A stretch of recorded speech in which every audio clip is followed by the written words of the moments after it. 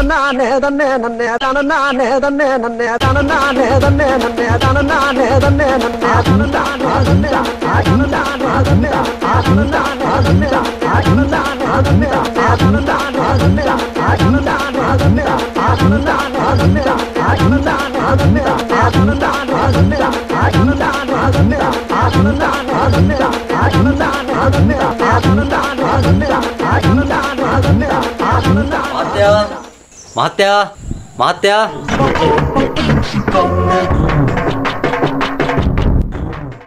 මොකද මාසෙ බිරියන් දෙන්නේ? සේවකයෙක් ඕන කියලා බෝඩ් එකක් දාලා තිබ්බා.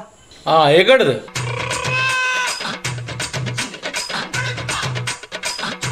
ඔයගේ නම මොකද්ද? මහත්තයෝ මගේ නම බණ්ඩාර. ගම? කුරුණෑගල මහත්තයෝ. මගේ තියෙන මේ ගේ බලා ගන්න. ඔයා කලින් කොහෙද වැඩ කරේ? කලිනුත් ගේක තමයි වැඩ කරේ. ඇයි එතනින් අස්සුනේ? අයින් උන්නේ නැහැ මහත්තයෝ. මාව අයින් කරානේ. ඒ මොකෝ? ඒක දිග කතාවක් මහත්තයෝ. හරි කමන්නේ ඔයා කියන්නකෝ. කලින් වැඩ කරපු ගෙදර ටෙලිෆෝන් බිල ආවා. ඒ මාසේ ටෙලිෆෝන් බිල රුපියල් 6000ක්නේ ඉතින්? ඒ ගෙදර මහත්තයා හැමෝටම එන්න කිව්වා සාලෙට. ඊට පස්සේ එයා කිව්වා මං ගෙදරින් කෝල් ගන්න. නෑ මං කෝල් ගන්න ඔෆිස් එකෙන් කියලා. ඊට පස්සේ ඒ ගෙදර නෝනා කිව්වා මමත් ගෙදරින් කෝල් ගන්න. නෑ කෝල් ගන්නෙත් ඔෆිස් එකෙන් කියලා. ඊට පස්සේ ඒ ගෙදර පොඩි මහත්තයා කිව්වා වැඩ කරන තැනින් තමයි මමත් කෝල් ගන්න කියලා. ඊට පස්සේ මහත්තයෝ කට්ටිය මගේ පැත්තට හැරුණා.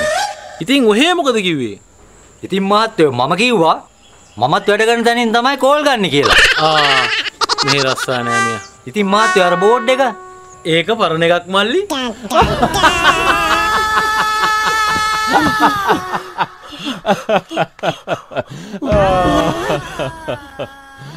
නනනානේ දන්නේ නන්නේ නනනානේ දන්නේ නන්නේ නනනානේ දන්නේ නන්නේ නනනානේ